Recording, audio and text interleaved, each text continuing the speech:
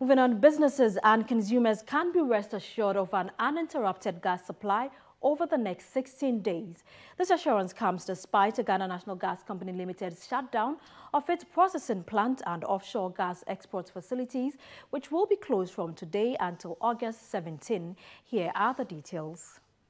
According to Ghana Gas, the plant shutdown is for maintenance work intended to enhance the plant's operational efficiency and ensure a continuous gas supply. At a press briefing, the head of corporate communications for the company, NS Owusu Bempah, emphasized that advanced measures are in place to prevent any gas shortages during this period. The plant is being shut down from the 1st of August, which is today, to the 17th of August. Actually, the engineers told us that it's going to be on the 15th, but we thought that when they are doing regasification and making sure that they, they push the gas and oxygen in to get, make sure that there's no leakage here and there, we thought it wise that it should be on the 17th so that we meet the deadline and, and, and then go ahead with it. So that is basically uh, uh, what is happening. So Ghana Gas uh, will want to assure the general public that there's not going to be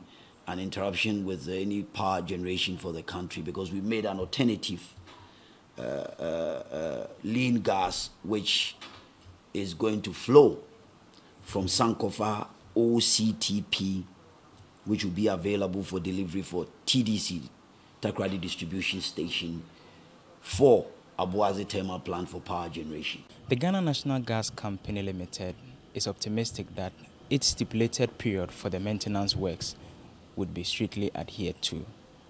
For Channel 1 News, my name is Daniel Drew Mensah, Accra.